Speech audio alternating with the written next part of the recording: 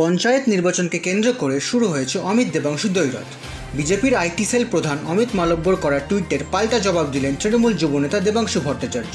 রাজ্য সরকারকে কটাক্ষ করে অমিত মালব্য টুইট করেন যে উত্তর চব্বিশ পরগনার ব্যারাকপুরে একজন নির্দল প্রার্থীকে প্রকাশ্যে বন্দুক উঁচিয়ে হুমকি দেয় তৃণমূলের গুন্ডা বাহিনী। এই হিংসার ফলে এখনও অবধি নজন মানুষের মৃত্যু হয়েছে বলে দাবি করেন তিনি। এই পুরো ঘটনার জন্য মমতা বন্দ্যোপাধ্যায়কে দায়ী করেন তিনি। এরই উত্তরে পাল্টা টুইট করেন তৃণমূল যুবনেতা দেবাংশু ভট্টাচার্য। দিনহাটের প্রকাশ্য দিবালোকে বোমাবাজি করে নির্বাচনী কার্যকলাপ বন্ধ করতে চেয়েছিল বিজেপির গুন্ডা বাহিনী, এমনটাই দাবি করেন তিনি। এই গোটা বিষয়ের ব্যাপারে অমিত মালব্যকে জবাবদিহি করতে বলেন তিনি। পঞ্চায়েত হিংসার জন্য কেন্দ্রীয় বাহিনীর অদক্ষতাকেই দায়ী করেন তিনি।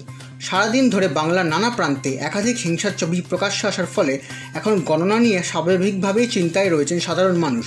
আর ঠিক সেই মুহূর্তেই অমিত মালব্যর টুইট এবং দেবাংশুর পাল্টা উস্কে দিয়েছে নয়া রাজনৈতিক তরজা ক্যালকলিং টিভি।